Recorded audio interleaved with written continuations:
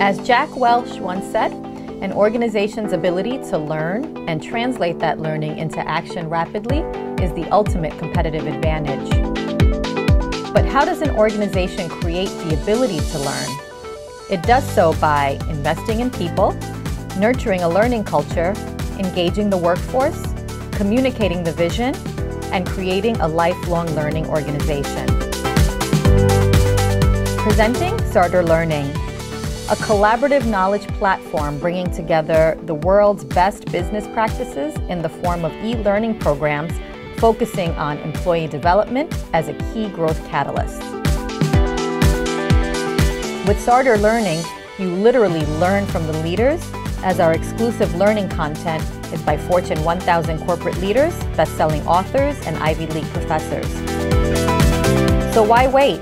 Log on to sarderlearning.com for a strategic consultation and a free pilot. Happy learning!